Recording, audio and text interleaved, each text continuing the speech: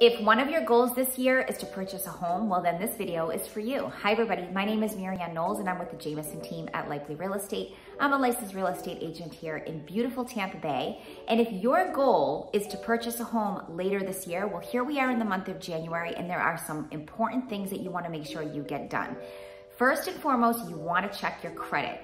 Make sure that there aren't any repairs that need to be made. And if there are, Give yourself the time to work on it. If you need for me to refer a lender to you, I'm happy to do so. But you wanna see if maybe you need to open up another line of credit, maybe you need to increase some points. So again, do it earlier in the year so that you have time to repair it. Secondly is to save for your down payment. Now, I made the video in the past that you don't need to put down 20%. The average first time home buyer puts about 6% down, but give yourself time to save that money.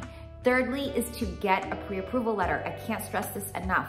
Don't start looking for a home without a pre-approval. If you fall in love with the home, I wouldn't be able to submit an offer without that.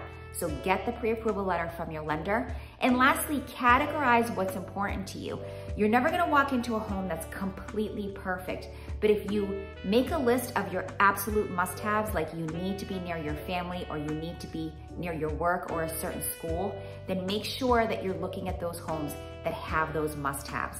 Other than that, there's plenty more that we can talk about in person or over the phone. So if you'd like to reach out, please know I'm always here to help. Otherwise, we'll see you next Friday for another FYI Friday. Take care.